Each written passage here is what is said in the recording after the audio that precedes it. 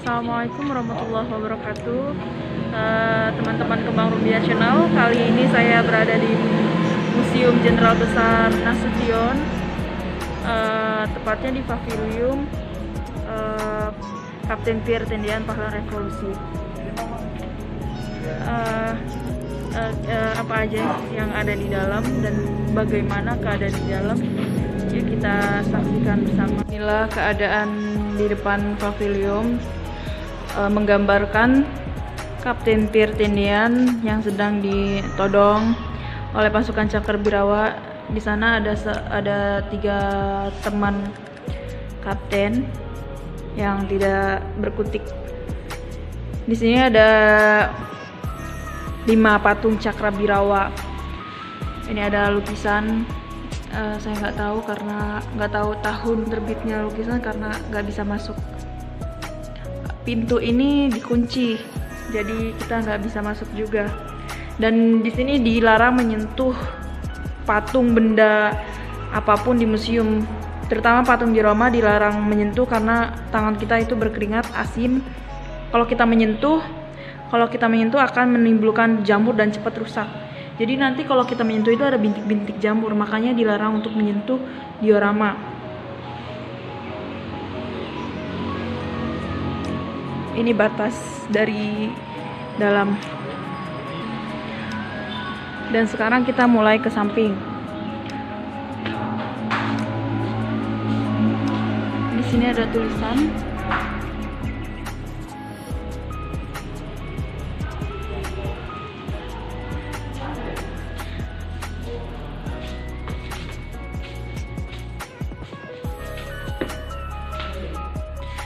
Eh, di pavilion samping ini adalah diorama tentang perjuangan eh, Jenderal Abdul Haris Nasution.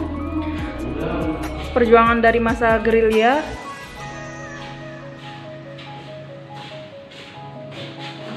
Ini gambaran perjuangan pada masa gerilya Jenderal Abdul Haris Nasution.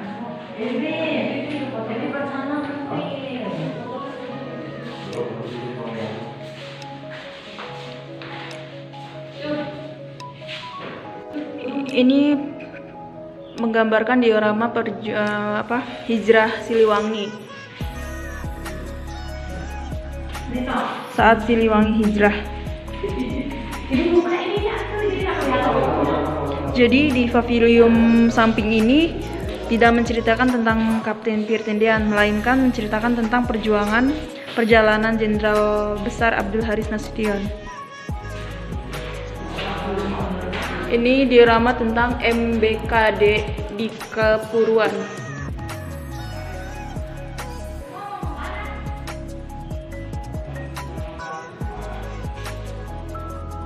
Sebenarnya ini ada bacaan, Eh, bisa teman-teman zoom. Dan ini tentang sidang MPR, MPRS.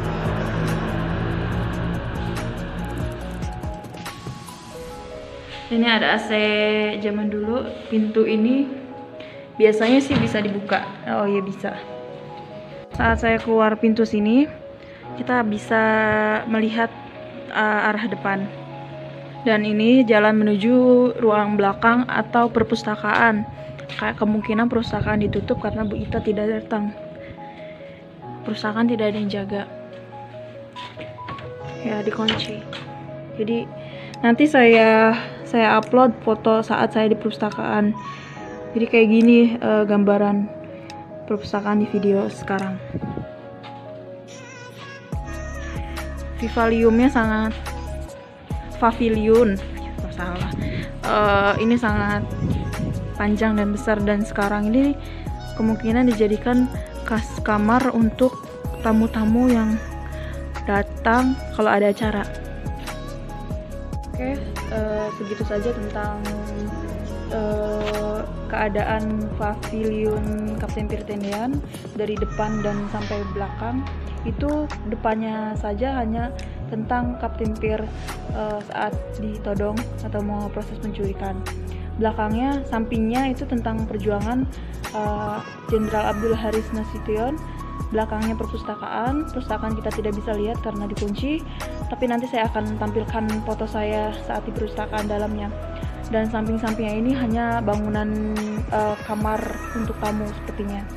Uh, sekian terima kasih. Uh, saya ucapkan uh, assalamualaikum warahmatullahi wabarakatuh.